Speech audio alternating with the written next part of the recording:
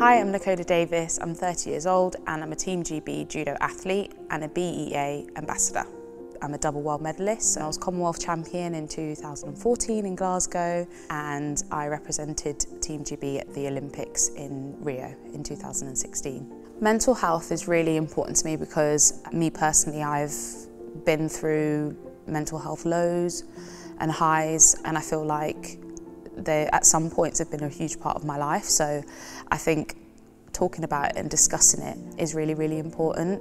I think often when you're in a mental health low, you feel totally alone. You feel like nobody else is going through what you're going through, and it's a dark place to be sometimes. If more people speak about it, more people will realise they're not alone in those situations. And I try to look at it it as it's just a moment in time and it's something that's going to pass. Suffered a concussion in 2019 which actually took me out of the sport for um, two plus years and I actually missed the Tokyo Olympics because of it. I just felt it was too risky. I didn't want to risk another setback because I felt like also my mental health was in such a fragile state that another setback could potentially like push me over the edge and I and I kind of chose I chose myself and I chose health and I chose feeling better. Nobody ever really spoke about like the mental side of things um, when you have a concussion. So the, the, anxiety that you feel or the depression that you can feel with it. Um, and it is a symptom of concussion. I didn't just fall into a depressive or an anxious state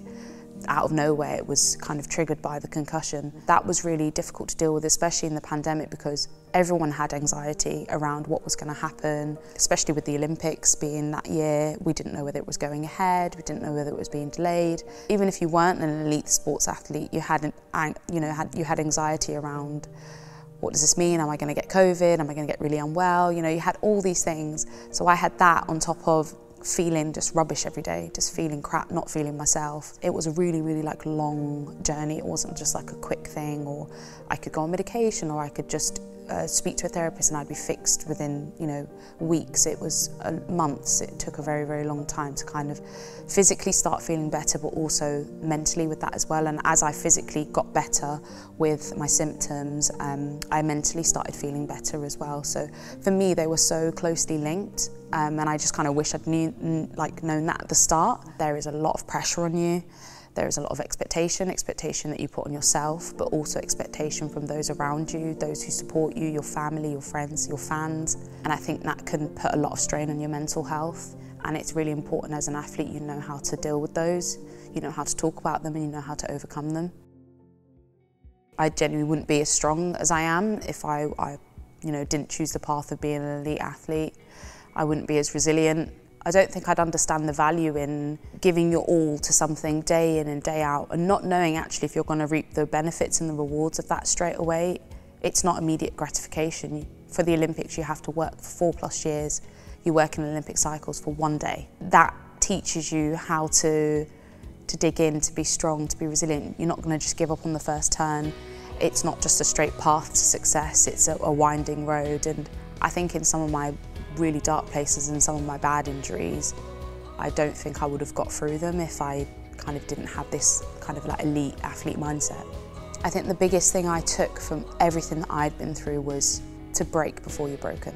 And that's like kind of like a motto I live by now. It's like break before you're broken. Ultimately, if you've got nothing left in the tank, when you're faced with adversity, it's very, very hard to overcome it. I think as an elite athlete, you often think, no, I can't take my foot off the gas, and actually you can sometimes. And actually it's better to sometimes. Getting pregnant was massive for me in many ways. First, it switched me off mentally from even thinking about judo and sport and kind of everything that I'd been thinking decades before that.